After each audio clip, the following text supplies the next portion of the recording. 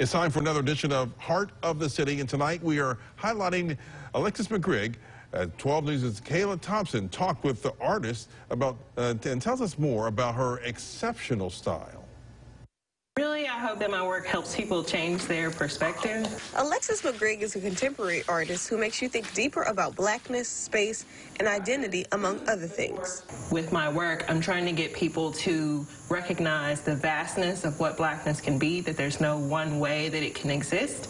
Um, so to reevaluate their thinking about what their idea of that is. And she has a special way of seeing things from the early stages. The shoulders and head like that. It's just a work. Once I start to see it, then I start to work with it. Pull it from the background and then pushing the background back later revealing something incredible. And in the midst of creating, she's also learning a new language. Je m'appelle Alexis. she's heading to Paris next year for an amazing opportunity. I have an exhibition that's opening at Almine Rech on January 8th, 2022.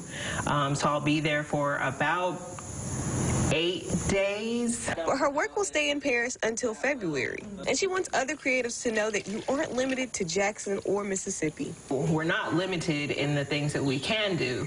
The thing that we have to do is make those connections. If we kind of just sit around thinking, oh, well, there's no opportunities here. No, you have to go out and get them.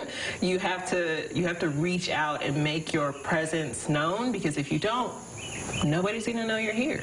And that, that was happening to me. And she says she's grateful for connections and people that reached back to help.